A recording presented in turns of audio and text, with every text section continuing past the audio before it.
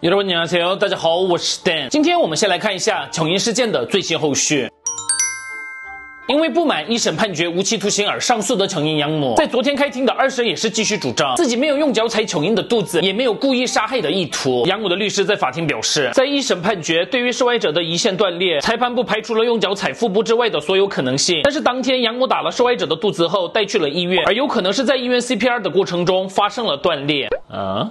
然后说会具体确认当天 CPR 的过程，并向大汉医师协会咨询。然后被判了五年不服的养父也是一样，继续主张自己不知道巧英在家里遭到的事情，而且不只是不知道，自己反而有担心巧英的健康。哇哦，并向法院提交了自己跟巧英拍的照片跟影片，借此想要证明两个人的关系有多好。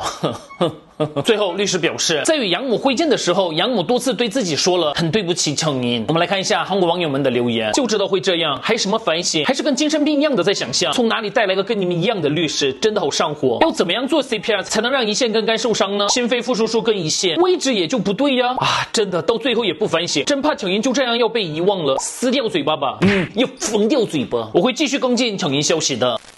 下个消息是七月二十二号，韩国文化体育观光部表示，根据公共术语的外语译名规范修正，将 kimchi 的中文译名由泡菜变更为新奇了。根据媒体报道，因为中文里面有 kim 跟 ki 的发音，所以韩国在年初有对十六个候选名进行了研讨，最终考虑到新奇与 kimchi 的发音相似，也有辛辣新奇的意思，所以最终被选定了。文化体育部表示，有必要区分我们的 kimchi 跟中国的泡菜，所以修正了训令，期待中韩两国以后能有更多包括饮食的文化交流。目前对于 kimchi 的中文名改为新奇，韩国。网友们之间的反应也是非常对立。部分网友们认为，kimchi 就是 kimchi，翻译要做差不多的话，为什么不做成金奇，而是要用新奇呢？那在中国，金正恩也叫新正恩吗？而部分网友们则是认为，就像麦当劳、星巴克在中国都是这样在用，所以 kimchi 中文叫新奇是很不错的决定。那么 kimchi 用中文叫新奇，大家觉得怎么样呢？最后我们来看一下一位美国记者的 Twitter 贴文。我想知道的是，Sierra Smith 的耳机里放的是什么歌？我们来猜一下放的是什么歌吧。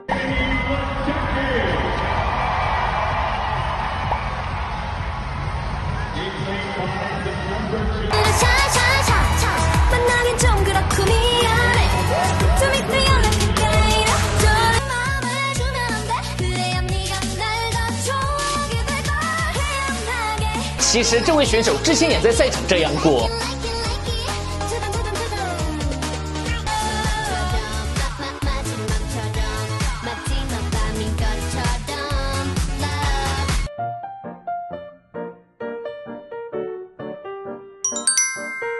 好的，今天的影片就到这里，我们下支影片再见，拜拜。东拜万呢是现在在韩国很多人都在 cover 的一个舞蹈。 아침 먹고 땡 집을 나서려는데 화려한 햇살이 나를 감싸네. 나만 바라보는 시선을 느끼며 거들먹 거들먹 거